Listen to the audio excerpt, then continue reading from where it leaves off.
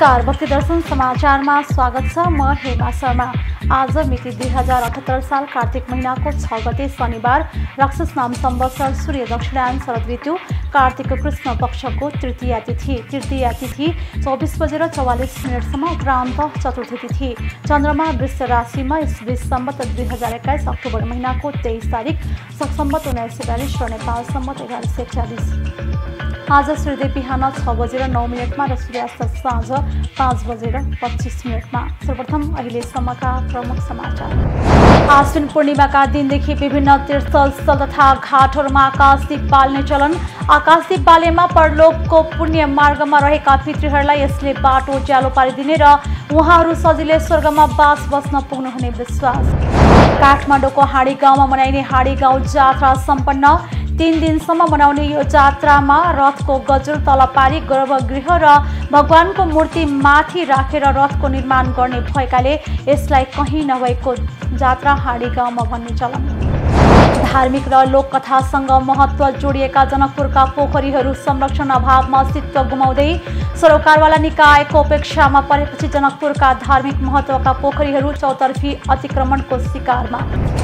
काभ्रे पलाञ्चोक जिल्लाको पनौती नगरपालिका वडा नम्बर पाँच बाँसघारीमा स्थानीयहरूको सक्रियतामा मुक्तिनाथ मन्दिर स्थापना। मुक्तिनाथ पीठाधीश्वर स्वामी कमल नयनाचार्य श्रीजी महाराजकै निर्देशनबाट काम भएको मुक्तिनाथ मन्दिर सहितको संरचना निर्माणका लागि एक करोड उनासाठी लाख रुपियाँ खर्च लागेको मुक्तिनाथ मन्दिर निर्माण समितिको भनाइ नेपालको दोस्रो ठुलो पर्व तिहार नजिकैसँगै का लागि आवश्यक सामग्री फलफुल सयपत्री र मखमली फुलको माला भाइ मसालासँगै दियो बाल्ने पालाको समेत खपत र माग दिनादुदिन बढ्दो। बजारमा पालाको माग बढेसँगै भक्तपुर लगायतका कुमाले समुदायलाई देखेर पाला बनाउने सुकाउने र पोलेर तयारी गरी बजार पठाउन भ्याइ नभ्याइ। भैरवाहा स्थित गौतम बुद्ध अन्तर्राष्ट्रिय विमानस्थलमा राख्ने तयारी गरिएको बहुमूल्य बुद्ध मूर्ति नेपाल आइपुग्यो। बुद्ध मूर्ति यही कार्तिक चौध गते राष्ट्रपतिद्वारा अनावरण गरिने कार्यक्रम। लगातार परेको अविरल वर्षाका कारण खानेपानीको मुहान पहिरोले बगाएपछि हुम्लाको सिमकोटमा खानेपानीको चरम हाहाकार। अहिले खोलामा बगिरहेको धमिलो पानी पिउन बाध्य भएको स्थानीयवासीहरूको भनाइ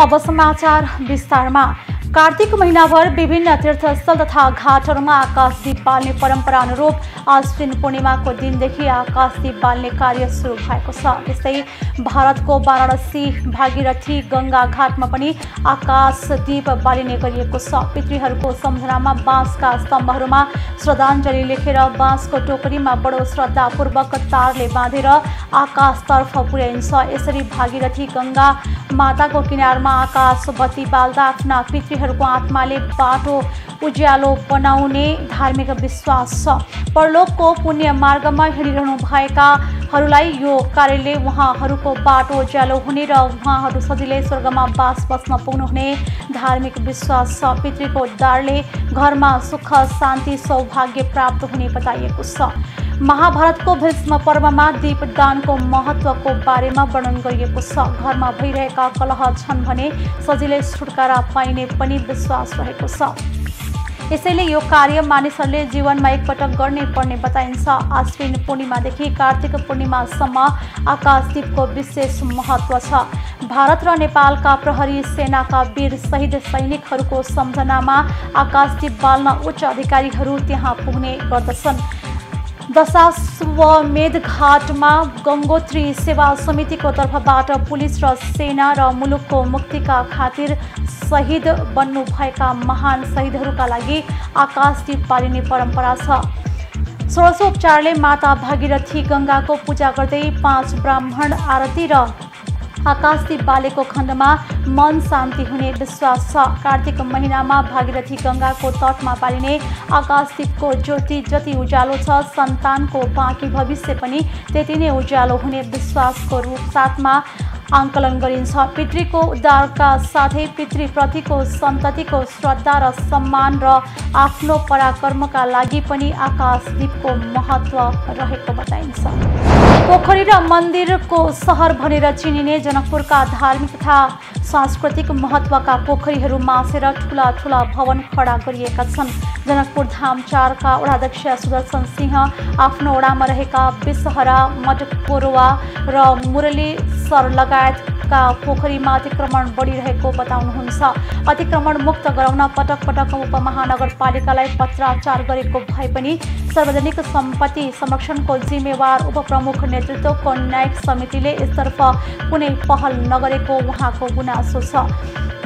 उपमहानगरपालिकाले पोखरी र सार्वजनिक सम्पत्ति संरक्षणका लागि तत्परता नदेखाएको उहाँको भनाइ छ। प्रसिद्ध जानकी मन्दिरभन्दा उत्तरतिर रहेको पौराणिक तेलहा पोखरीलाई अहिले होटल व्यवसायीले फोहोर फाल्ने खोल्सामा परिणत गरेका छन्। दुई हजार बयालिस चौवालिसको सहरी नापीमा नापिएका पोखरी चौतर्फी अतिक्रमणको शिकार भएको छ। पोखरीको डिल कब्जा गरेर ठुल्ठुला निजी भवन बनाइएका छन्। बृहत्तर जनकपुर क्षेत्र विकास परिषदका तत्कालीन अध्यक्ष रामकुमार शर्माले दुई हजार बहत्तर सालमा अतिक्रमण हटाउने अभियान थालेका थिए। त्यस क्रममा छवटा पोखरी अतिक्रमण गरी बनाइएका घर भत्काइएको थियो तर बजेट अभावमा अभियान रोकिएको थियो। त्यही बेला तेलहाको डिलमा पनि अनाधिकृत रूपमा बनाएका भौतिक संरचना भत्काइएको थियो तर कुनै निकायबाट संरक्षण नहुँदा फेरि अतिक्रमणकारीले डिल पुर्ने र पोखरीमा फोहोर थुपार्दै गएका छन्। अतिक्रमण हटाउन जिल्ला प्रशासन कार्यालय प्रहरी लगायत सम्बन्धित निकायहरूमा पत्राचार गरेको भए पनि सबैबाट चाहे जस्तो सहयोग नपाएकै कारण अतिक्रमण मुक्त गराउन नसकेको बताइएको छ। बिसरा मटकोरुवा र मुरली सर सरोवर लगायतका पोखरीमा अतिक्रमण दिनानुदिन बढ्दै गएको छ। जनकपुर प्रवेशद्वार पिडारी चोकमै रहेको पापमोचनी सरोवर जसमा प्रत्येक वर्ष फागुन पूर्णिमाका दिन मिथिला मध्यमा परिक्रमा अन्तर्गत जनकपुर नगरको पञ्चकोशीय परिक्रमाका क्रममा यहाँको जलले खुट्टा धुने परम्परा छ। त्रेता युगमा भगवान् रामले यहाँ आफ्नो खुट्टा धोएको हुँदा यसको जल शरीरमा लगाउँदा पापबाट मुक्ति पाइने जनविश्वास छ। तर आस्थाको धरोहर रहेको पोखरी अहिले फोहोरको डङ्गुर बनेको छ। यो पोखरी हालेकातर्फ सडक निर्माणका लागि पुरिएर आधी बनाइएको छ भने अर्कोतर्फ डिलहरू चौतर्फी पुरेर स्थानीयले भोग चलन गरिरहेका छन्। जनकपुर धाम चारमा राम मन्दिरबाट दक्षिणमा अवस्थित रामसागर पोखरी चारैतिरबाट तीव्र अतिक्रमणको चपेटामा परेको छ। डिल पुरेर निजी उपभोगका लागि घर निर्माण भइरहँदा पनि सम्बन्धित निकायले संरक्षण गर्न चासो देखाएका छैनन्। त्यस्तै लक्ष्मण आखडाबाट दक्षिण पूर्वमा रहेको लक्ष्मण सरोवर चौतर्फी अतिक्रमणले साँगुर्दै गएको छ। जानकी मन्दिरभन्दा पूर्वोत्तरमा रहेको चन्द्रगुप सर अर्थात् पोखरी गुठी संस्थानको स्वामित्वमा रहेको यो पोखरी पनि अतिक्रमणको शिकार हुँदा प्राचीन पोखरीको अस्तित्व गुम्दै गएको छ। डिलबाट पटक पटक अतिक्रमणकारीलाई हटाइए पनि संरक्षणको प्रयास नहुँदा अतिक्रमणकारीहरूले चारैतिर अवैधानिक निर्माण गरेका छन्। सरकारले दुई हजार बहत्तरी साउन छब्बिसमा परिषदका तत्कालीन अध्यक्ष भोजराज घिमिरेको अध्यक्षतामा बनाएको उच्चस्तरीय कार्यदलले जनकपुर र यस आसपास धार्मिक महत्त्वका उनापचासवटा सार्वजनिक पोखरीको सूची सार्वजनिक गरेकामा ती मध्ये पाँचवटाको अस्तित्व नै मेटाइएको पाइएको थियो। जनकपुरको मुटु मानिने शिवचोक छेउ उभिएको विशाल मानकी होटलको तल रहेको पश्चिमी सहरको अस्तित्व नै लोप भएको छ। बालुवा टोलमा रहेको जनक सरोवरको जग्गा माफियाले पुरेर यसको अस्तित्वकै सम्बन्धमा विवाद उत्पन्न भएको थियो। जनकपुर धाम उपमहानगरपालिका चार गोपाल धर्मशालाको पूर्वतिर रहेको गोपाल सरको अस्तित्व पनि समाप्त भइसकेको छ। भारतीय दाताहरूबाट निर्माण भएको यस धर्मशालाका जग्गा र अस्तित्वविहीन भएको पोखरी गुठी संस्थान अधीनस्थ छ तर धर्मशालाको जग्गा चौतर्फी अतिक्रमण गरेर व्यापारिक प्रयोजनका लागि सटरहरू बनाई भाडा लगाउन थालिएपछि पोखरी पनि मासिएको स्थानीयवासी बताउँछन्। प्रदेश र स्थानीय सरकारले आफू मातहतका सांस्कृतिक ऐतिहासिक र पुरातात्विक महत्त्वका पोखरी जलाशय र कुण्डको संरक्षण गर्नुपर्ने हो। तर उल्टै प्रदेश सरकार र स्थानीय तह बिचको स्वामित्व विवादले अतिक्रमणलाई मलजल दिएको छ। जनकपुर क्षेत्रका पोखरी जलाशय र कुण्डहरूको संरक्षण सम्वर्धन र सौन्दर्यीकरणको अधिकार प्राप्त निकाय परिषद पनि मुखदर्शक बनेको छ। अतिक्रमण हटाउन जिल्ला प्रशासन कार्यालय प्रहरी लगायत सम्बन्धित निकायहरूमा पत्राचार गरिए पनि सबैबाट चाहे जस्तो सहयोग नपाएकै कारण अतिक्रमण मुक्त गराउन नसकिएको बताइएको छ। नेतृत्वकर्ताले अतिक्रमण हटाउन जस्तो पहल गर्नुपर्ने हो त्यो नभएको जनगुनासो छ। सम्बद्ध निकायको दायित्वप्रतिको उदासीनता र विभिन्न सरोकारवाला निकायहरू बिच समन्वयको अभावले गर्दा पोखरीहरूको संरक्षण सम्वर्धनमा गतिरोध उत्पन्न भएको छ। मन्दिरका महन्त गुठी संस्थान र स्थानीय तहको स्वामित्वमा रहेका केही पोखरी माछा पालन गर्न ठेक्का लगाए पनि तिनको आमदानी अपारदर्शी छ। संरक्षण अभावमा अस्तित्व गुमाइसकेका र लोप हुन लागेका पोखरी मध्ये अधिकांशको कुनै न कुनै धार्मिक र लोककथासँग महत्त्व जोडिएको छ। पूर्णिमा औँसी छठ पितृपक्ष जितिया जस्ता चाडपर्वमा यिनै पोखरीमा स्नान गरेर श्रद्धालुले मठ मन्दिरमा पूजाआजा गर्दछन्। यी पोखरीको निर्माणका प्रसङ्गमा थुप्रै किम्बदन्तीहरू समेत रहेका छन्। कतिपयको नामाकरण रामायणकालीन प्रसङ्गहरूसँग जोडिएको पाइन्छ। यी सार्वजनिक सम्पत्ति सरोकारवाला निकायको उपेक्षामा परिरहेका छन्। काठमाडौँको हाँडी गाउँमा जात्रा मनाइएको छ। आश्विन शुक्ल पूर्णिमाको भोलिपल्टदेखि तिन दिनसम्म यो जात्रा मनाउने गरिन्छ। लहरै तिनवटा रथ निकालेर सुरु गरिने यो जात्रा काठमाडौँका अन्य जात्राभन्दा फरक हुन्छ। रथको गजुर तल पारी र गर्भगृह र भगवानको मूर्तिलाई राखेर रथको निर्माण गरिन्छ। यो जात्रामा भगवान राखिएको गर्भगृहलाई तलबाट बेसरी घुमाउने गरिन्छ। साथै रथमा मैनको सुगन्धित फुल बनाई राख्ने गरिन्छ।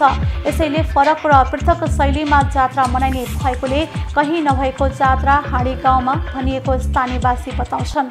जात्रामा निकालिएका तिनवटा रथलाई नगर परिक्रमा गराउँदा स्थानीयले पूजा तथा स्वागत गर्ने चलन छ। साथै रथ सजाउन प्रयोग भएको मैनको बास्नादार फुल रथको गजुर घुमाउँदा खस्ने हुँदा फुल टिप्नेको भिड हुने गर्दछ। यो फुललाई प्रसुति पीडामा रहेकी महिलालाई सुगाउँदा पीडा कम हुने जनविश्वास समेत रहेको छ।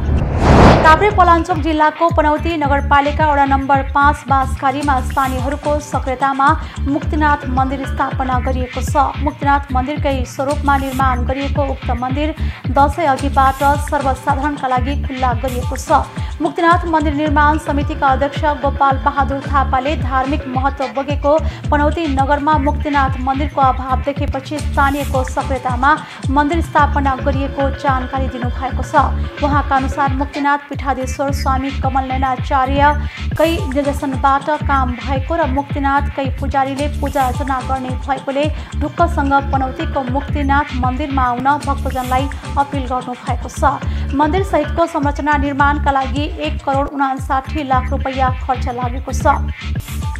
भागवत सप्ताहबाट एकाउन्न लाख विभिन्न व्यापारी भक्तजन तथा स्थानीयबाट छ्यासठी लाख बागमती प्रदेश सरकारबाट पच्चिस लाख र पनौती नगरपालिकाबाट पच्चिस लाख रुपियाँ सहित मुक्तिनाथ मन्दिर निर्माणका लागि एक करोड सडसठी लाख रुपियाँ सहयोग उठेको थियो। मुक्तिनाथ मन्दिर निर्माण समितिका सदस्य राजेन्द्र थापाले मन्दिरको संरक्षण र दिगोपनका लागि अक्षय कोष स्थापना गर्न लागि बताउनु भएको छ। उहाँका अनुसार करिब तिस लाख रुपियाँको अक्षय कोष निर्माण गरेर त्यसको ब्याजबाट आउने रकमले पुजारीको व्यवस्थापन र नियमित सरसफाइमा खर्च गर्ने लक्ष्य रहेको छ।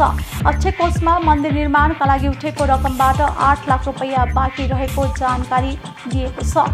मुक्तिनाथ मन्दिर निर्माण समितिका सदस्य कुमार थापाले मुक्तिनाथ मन्दिर सहितको संरचना बनेको बताउनु भएको छ। उहाँले मन्दिरभित्र मुक्तिनाथ भगवान श्रीदेवी र भूदेवी रहेको बताउनु भएको छ। त्यस्तै अगाडि साइडमा मुक्तिनाथको वाहन गरुड र ढोकाको दायाँ बायाँ गरुड भगवानका वाहन जय र विजय रहेका छन्। मन्दिर परिसरमा गणेश राधाकृष्ण स्वस्ति र सरस्वती र शिवजीको मूर्ति रहेको छ। मन्दिर परिसरमा नुहाउनका लागि एक सय आठ धारा स्नान गर्नका लागि बस र फेर्नका लागि महिला र पुरुषका लागि बेग्ला बेग्लै कोठा बनाइएको छ भने पुजारी बस्ने घर निर्माण गरी आचार्य पास गरेका ब्राह्मण पुजारी राखिएको छ। मुक्तिनाथ मन्दिरकै जस्तो दैनिक पूजा अर्चना हुने जनाइएको छ। मुक्तिनाथ मन्दिरबाट शालिक ल्याएर शिलान्यास गरिएको थियो। नेपालीहरूको दोस्रो ठुलो पर्व तिहार नजिकैसँगै यसका लागि आवश्यक सामग्री फलफुल सयपत्री र मखमली फुलको माला भाइ मसलासँगै दियो पाल्ने पाला को समेत खपत र माग दिनानुदिन बढ्दो छ बजारमा पालाको माग बढेसँगै भक्तपुरका कुमाले समुदायलाई देखेर पाला बनाउने सुकाउने र पोलेर तयार गरी बजार पठाउन भ्याइ नभ्याइ भएको छ। अचेल भक्तपुरका तालक्वाका कुमाले समुदायले दिनचर्या नै पाला तयार गर्ने कार्यमै बित्ने गरेको बताएका छन्। तिहारमा पालाको उच्च माग हुने भएपछि यतिखेर उनीहरूले अन्य माटाका भाँडा बनाउने कामलाई थाँती राखेका छन्। तिहारमा लक्ष्मी पूजाका लागि बाहिरी जिल्लाबाट समेत पालाको माग आउने भएकाले गमला धुपौरो खुत्रुके लगायत विभिन्न पर्यटकीय सामग्री बनाउने कामलाई थाँती राखेर पाला बनाउने काममा व्यस्त भएका हुन्। भक्तपुरका तलकका कुमालेहरूका साथै सुजमारी लिवाली तुमुचो च्यामसी र श्री विनायकका कुमारले समेत अन्य भाँडा बनाउने कार्यलाई थाँती राख्दै पाला बनाउने कार्यमा तल्लीन रहेका छन्। विशेष गरी धनकी देवी लक्ष्मीको पूजा गर्ने पर्व भएकाले तिहारमा फलफुल सयपत्री फुलसँगै झिलिमिली बत्ती बाल्ने गरिन्छ। धनकी देवी लक्ष्मीलाई घरमा भित्राउन तिहारमा झिलिमिली बत्ती बाल्ने परम्परा छ। तिहारको लक्ष्मी पूजाको दिन दीपावली गर्न घरको दैलो झ्याल ढोका कौसी बरन्डा लगायत स्थानमा पालाको दियो बाली झिलिमिली पार्ने परम्परा छ। पछिल्लो समय तिहारमा बत्ती बाल्नका लागि विद्युत बत्तीको माग समेत उच्च हुने गरेको छ। तिहारमा बिजुलीका रङ्गी चङ्गी बत्ती बालेर झिलिमिली पार्ने गरे पनि अनिवार्य रूपमा दियो पनि बाल्नुपर्ने परम्परा भएकाले तिहारमा वर्षेनी पालाको माग बढ्ने गरेको व्यवसायी बताउँछन्।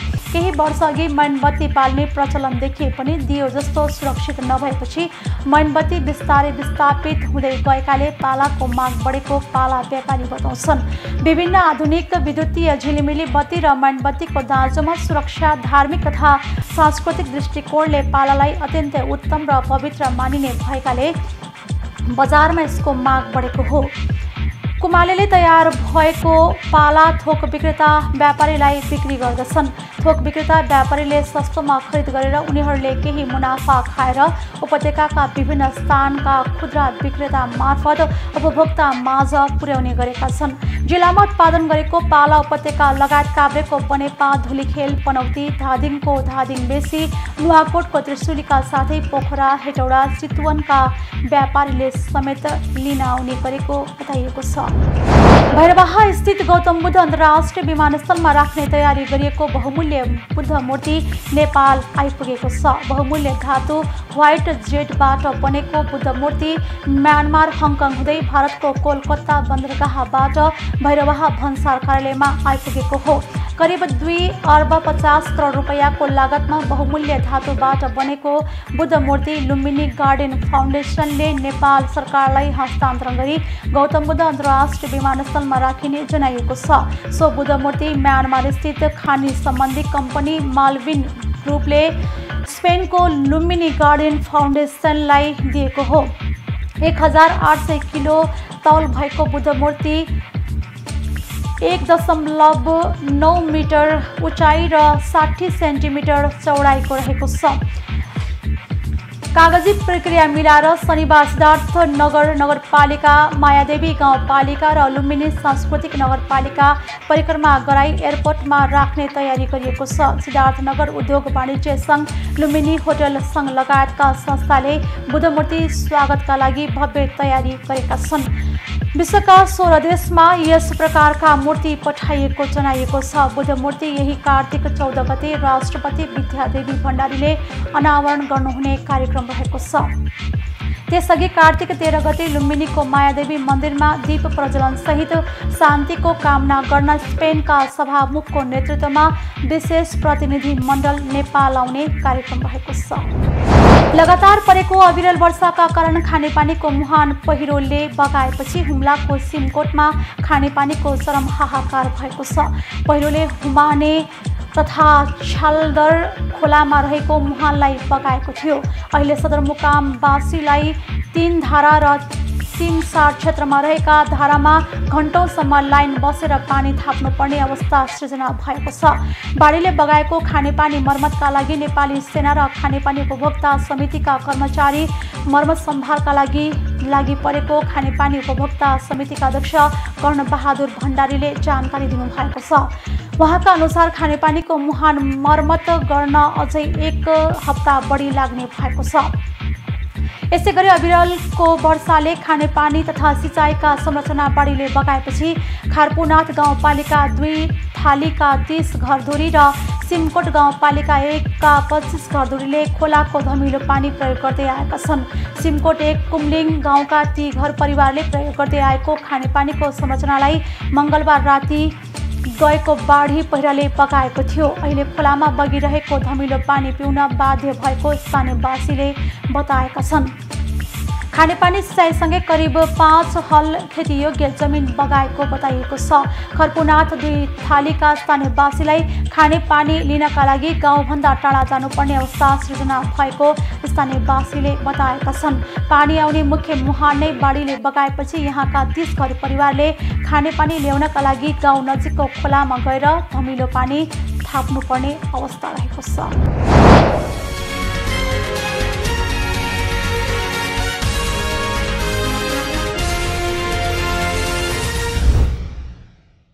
अहिले हामी भक्ति दर्शन समाचारको अन्त्यमा आइसकेका छौँ जाँदा जाँदै प्रमुख समाचार पुनः एकपटक आश्विन पूर्णिमाका दिनदेखि विभिन्न तीर्थस्थल तथा घाटहरूमा आकाशदीप बाल्ने चलन। आकाशदीप बालेमा परलोकको पुण्य मार्गमा रहेका पितृहरूलाई यसले बाटो ज्यालो पारिदिने र उहाँहरू सजिलै स्वर्गमा बास बस्न पुग्नुहुने विश्वास।